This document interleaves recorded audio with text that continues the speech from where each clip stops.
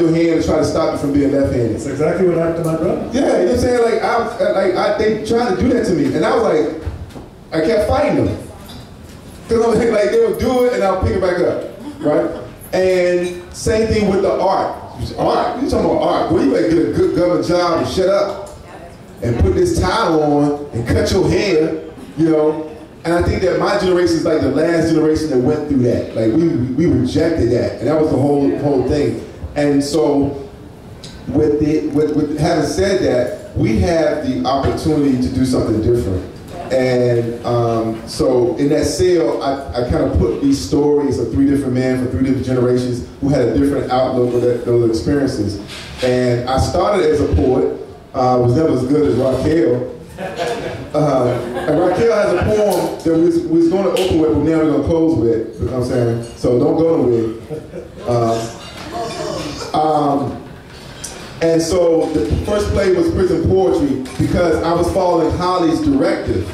And so it was a small project, but fortunately, um, I needed that validation so it was successful. I won a literary award for that one. So I shudder. If that was not successful, I probably would have stopped. I probably would have quit. So I, I want everybody to know that you do not have to wait to be validated. You have to sign your own Emancipation Proclamation with your own pen. You are already good enough. And everybody has one story that the whole world needs to hear. Your talent is how many more stories you can come up with, but unfortunately the story that the world wants to hear is a story you don't want to talk about. The one you want you don't want nobody to know about. And I'm, I'm blessed enough to be open enough to share these stories. And uh, so it started because Holly told me to write plays. and so I started with that. And, and like I said, hearing the actors reading my words back was so therapeutic. And so I thought the next progression from that would have been film. So I, that's why I went after, after uh, the film. Um, but I also went after the film because Jay-Z had a similar experience in Africa that I had. And when, um, Jay-Z, for those who don't know, he had a, a documentary called Water for Life. When, um, when um, Kofi Annan was Secretary General of the UN, Jay-Z spoke at the UN. And because Jay-Z had resources, he put up his own money to build um, merry-go-rounds for kids to play on, but it was actually self-powered wells to, to pump fresh groundwater. Saved countless lives. No one talks about that. So when I saw that, I was like, oh, Jay got I gotta get this film to Jay, maybe he make the movie. And my brother, shout out my man Hubs in the house, Draboo's in the house, raise your hand, Draboo. Draboo is one of the actors um, that read for um, uh, Nineveh was a screenplay uh, right here on this stage many moons ago. Uh, and so my brother um, is a music uh, producer, so he knew one of Jay-Z people, uh, Beehive's cousin actually, and I, I, got a meeting with him, and I took the screenplay, and he looked at it and said, this is, this, this, it's all right, it's all right, but I don't see how we can make money with it. And I was like, my dumb butt, I'm sitting here trying to convince him, this guy runs uh, um, Roc Nation, how he gonna make money with a dude that got off the Chinatown bus to come see him in New York?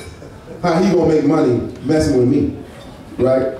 What I should have said was that I thought Jay wanted to make history, not just make money. That should have been my, you know, jump. But I missed my point. But I'm so glad he said no. I was glad he took the meeting because it, it boosts, my ego, but because he said no, I now have a project that's twice as better because that was a screenplay.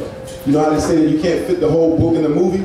Because the book is much more material. I have twice as much material. It's twice as strong, twice as better. Like, this is the story. That wasn't it. That was the beginning. This is the this is the finisher. Uh, that was a long one. I was trying to be short with my answer, Kojo. I'm sorry. We, we ain't on the radio show, so that's why I was talking. this book, in many ways, defies a genre definition. However, like quite a few works I'm seeing by black writers and black um, screenwriters and black directors today, it includes a great deal of what would be considered either magical realism or science fiction. Why did you decide to take that approach? I prefer to call it Afrofuturism. Afrofuturism. Yes. And for those who want to get a better understanding of Afrofuturism, there's a wonderful exhibit at the National Museum of African American History and Culture right here. It's open this week, and it will be there until uh, for a year. So please go and visit that and take your kids, take your parents, because um, they can learn too. Uh, Afrofuturism is dope.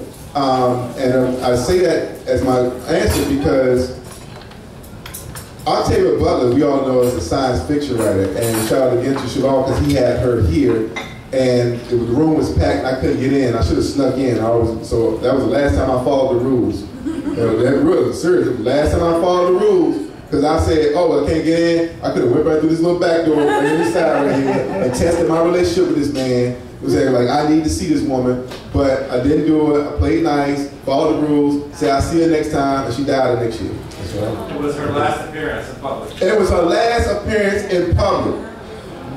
So don't lean back. Y'all hear me? Don't lean back. Don't play nice. All right, so, and don't play nice either. You know what I'm saying? Humble savage. Um, you can talk shit and smile. Um, so she said, so I, I, once I heard her name, um, when I because I had already written the screenplay, and people was reading like the actors and the artists, oh, this is like Octavia Butler. So I was hesitant to read anything from her because I didn't want to be overly influenced in my work. But I studied her. I watched all her interviews. I studied her life, what she had to say, what was she thinking, what blah, blah, blah. I studied the person. And she said, why is it fictitious for black people to imagine themselves in the future? So that left sci-fi a bad taste in my mouth because she said her card, her card says writer, it doesn't say science fiction, but this is what the, the genre they put on, on us, all right? And but then I met um, Walter um, Mosley a few weeks ago um, with, with, Paul Coates, by the way, your boy Paul Coates. Yes. And um, he said that science fiction writers are the smartest writers because they work with tools that we don't have yet. And without science fiction writers, we won't have a future. Hmm. And I'm like, oh, okay. So hmm. I'm somewhere in between, but I synthesize that to say Afrofuturism, so I hope that answers your question. And yes, I realize because you mentioned in the book Octavia Butler, or in an interview you mentioned Octavia Butler, who is one of my favorites. I had the good fortune to interview her on Howard University Television some years ago and I've been a fan of her work for a long time. But in this particular case, the society that you envisioned, the society that you created in this book was a, was a dictatorship, and a dictatorship that was based on the avail availability or lack thereof of water. But it was clear that in looking at this dictatorship, you were also picturing the country in which we now sit and are living. Talk about how that came to you. I'm so glad that uh, we got a chance to give you your, give you your, your flowers. Uh, but I want to acknowledge that we have a dead orchid plant on stage here tonight. And you might ask why would he put a dead orchid plant with a bow tied around it on stage? Because that is where we are. If I'm telling you that there's going to be more plastic in the ocean than fish in a few years in our lifetime if we don't do something different. If I'm telling you that uh, Flint, Michigan still has dirty water, Detroit, Michigan has exorbitant water um, um, bills right now to the point that a lot of people, because it's a poor city, can't afford it. So they, their water gets cut off. You know what happens when your water gets cut off? Child Protection Services come take your kids. So we have water refugees in this country right now. Now what they're not mentioning is that Flint and Detroit are a short drive to the largest freshwater lake on the planet, the Great Lakes. How the hell can you be that close to the largest body of fresh water on the planet and still have a problem if there wasn't corruption, greed, crimes being committed, so forth and so on? Now, on top of that, Nestle, the corporation, I think it's Swiss, you know for chocolate, but the moneymaker is water. Everybody say water. Say, if you can just walk out here and changing your, the way you speak, you'll change a lot of way people think. Because water is being taken advantage of. Water makes you want to know, what do you mean? Okay? So Nestle pumps one million gallons of water out of the Great Lakes a day. You know how much they pay the state of Michigan for that? Or, you know, or at least on, on the books? $200 a year. $200 a year. Okay? So how is it they pump water out of the lakes $200 a year and folks in Detroit can't afford their water bill. Folks in Flint, Michigan don't have water. So I'm saying you have a crisis right now, but we're not looking at it that way. So in my in my story, the polar ice caps have melted. Some cities have been submerged. Some cities have been um, have emerged. That's not a make believe. Dubai is a city they built out of the ocean. It's a landfill. It's an emerged city. Okay, go to Miami, enjoy uh, Art Basel, go to South Beach, take a lot of pictures because it's gonna be underwater when um, 2050 get here and there's more plastic than fish in the sea. It's, this is not me talking. This is widely accepted facts. So that's why I hesitate to say this book is fiction or not. I think it's futuristic. I'm telling you a, a captivating story, an entertaining story for those who like to know about what could happen, what will happen unless we do something. And our problem is that we have allowed the people who created the problems and we expect them to solve those problems. And uh, one of my other literary heroes is uh, Alice Walker, and she said the greatest power is convincing people they don't have any. So I want people to be convinced they have have power.